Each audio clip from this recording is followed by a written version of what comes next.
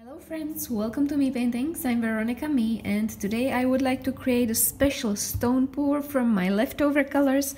So these are all of my leftover colors from previous pour and I put them also in these kind of containers and you can store them in there for a few months and use them later on.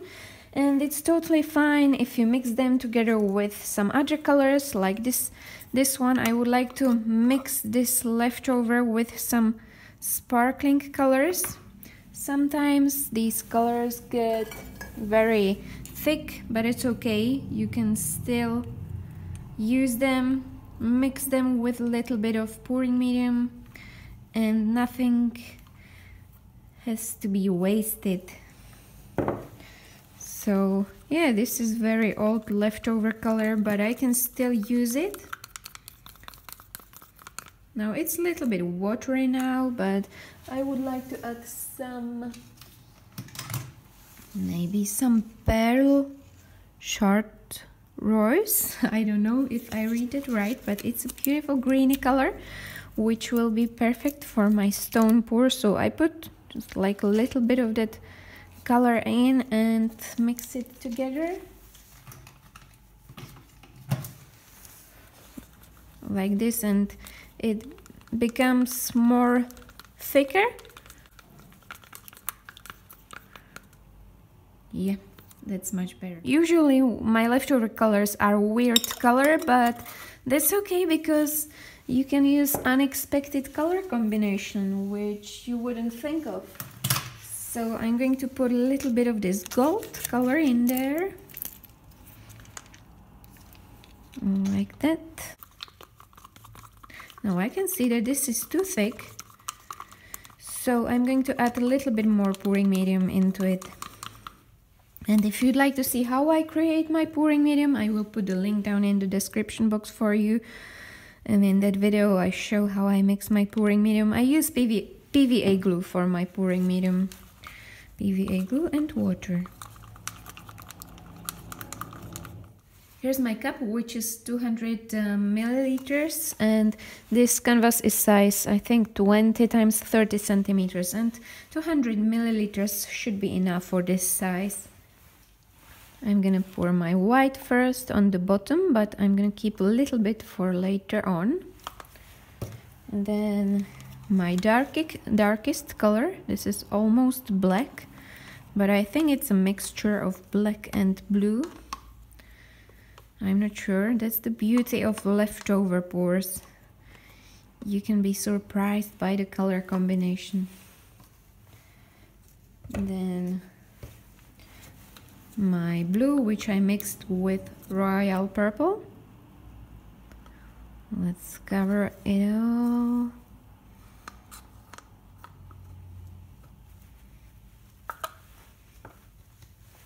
Now my gray beautiful gray color which will be perfect for stone pour. Also my greenish color which I mixed with that beautiful shiny green color. And the last one is the one which I mixed with gold. I would like to have some nice earthy tones and white on the top like that. Okay. Ready steady go. So moment of truth. Ooh, some nice earthy colors. I can see and I'm going to spread it everywhere.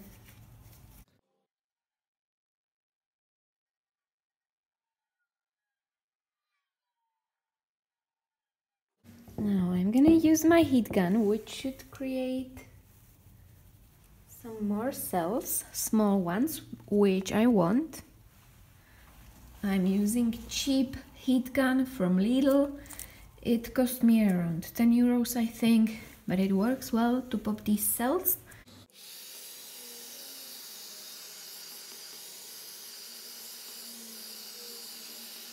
and I know these cells will grow into a little bit bigger cells but it will be perfect I'm gonna let this dry for about a week or so and then I'm gonna show you what to do next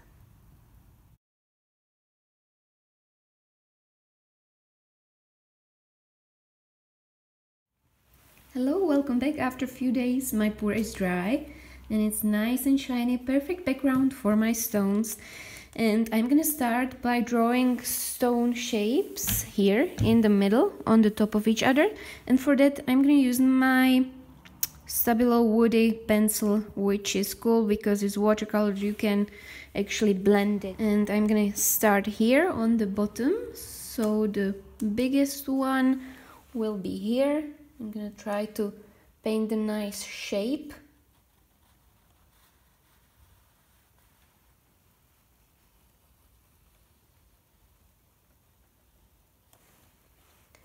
Like that. Now the second one will be on the top of it.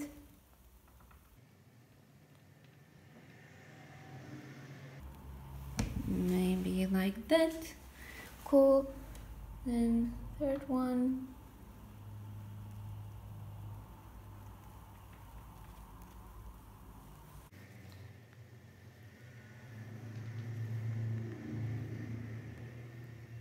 Time to fill all this background with my silver color. I will probably use silver and gray space um, for the for edges. I will put the link down in the description box for you if you'll be interested in these.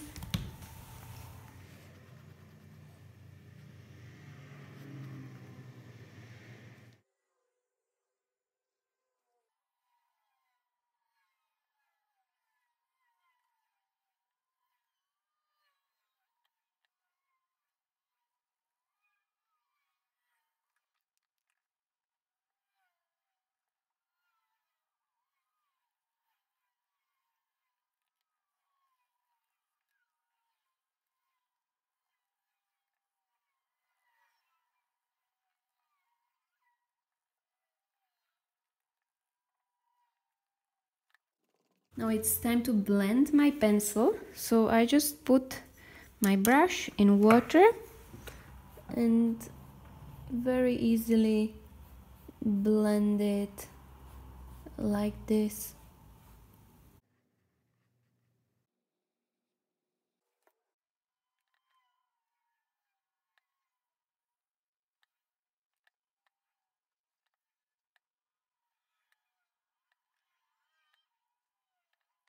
I'm gonna use this petal white and also Mars black and I'm gonna um, put some white here on these edges and then some black here because there is shade underneath each stone.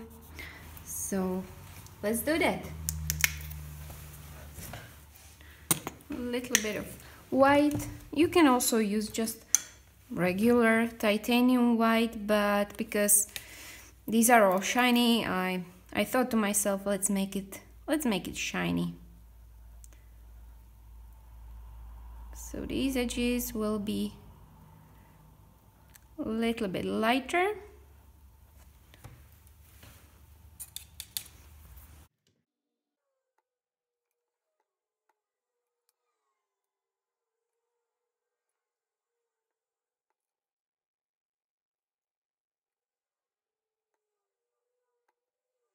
and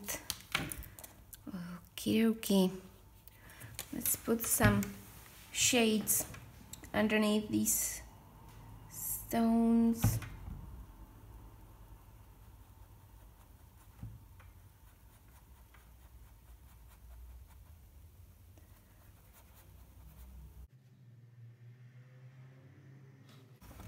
And I'm gonna blend it a little bit. I always put my brush in water and then Mm, blend it nicely. Nice and this part also will be darker. So I'm gonna put some black here as well and blend it all nicely. It gives that stone its shape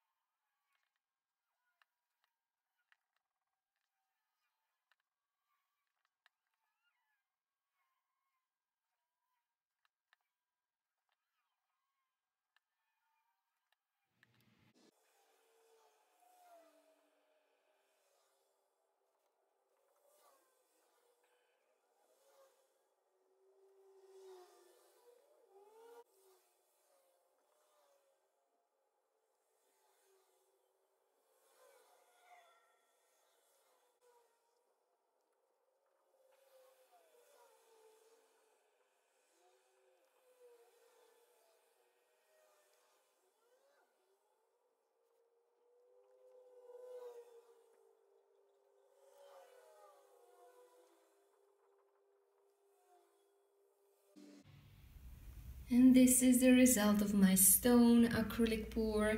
I hope you enjoy this method. It's a great method for those old boring pours which are lying in the corner. You can change them into beautiful unique pieces. If you enjoyed it, please give a thumbs up or subscribe to my channel. You can also join my Facebook group Create With Me and show us your beautiful art. I know this took some time, it took me around 2-3 hours, but take it as a way of meditation, just time for yourself and enjoy it as much as you can because it's a really tricky time at the moment. We are under the whole lockdown, but I hope we'll be able to see our loved ones soon and create and paint with them together. See you soon. Bye.